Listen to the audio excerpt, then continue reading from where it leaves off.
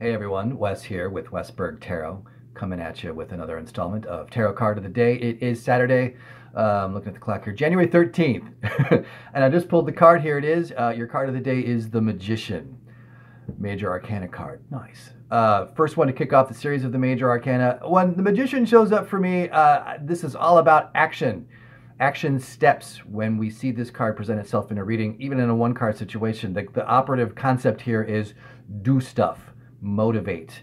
Um, if you've got a plan, make that plan happen. If you're trying to figure out what your plan is going to be, well, that, just be really engaged. Um, the magician is all about kind of utilizing all that you have in your environment to make things happen in your world, to manifest, to materialize. So, however you need to manifest and materialize the things that you want to have happen in your life, or maybe you need to have happen, this is the card that's just kind of saying, hey, go out there, do it, make it happen. So I'll leave your Saturday with that.